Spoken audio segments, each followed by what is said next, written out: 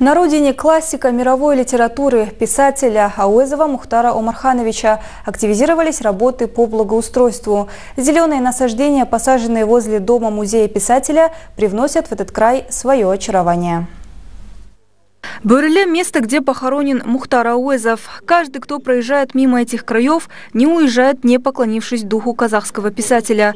По инициативе президента Республиканского международного общественного фонда Абай Хунанбаев от Антая Карибжанова на этой территории высажено 50 саженцев елей.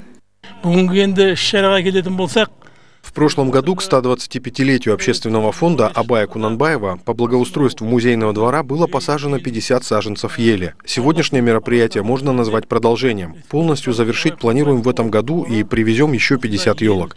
Дом-музей Мухтара Ауэзова в Берле был открыт почти 40 лет назад.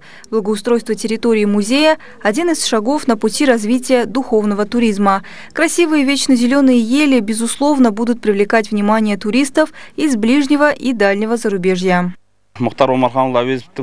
В музее Ауэзова Мухтара Умархановича по инициативе президента Республиканского фонда Абая Утантая Карибжанова из города Семей проводится большая кампания по посадке деревьев. Всего привезли и высаживают 50 елей.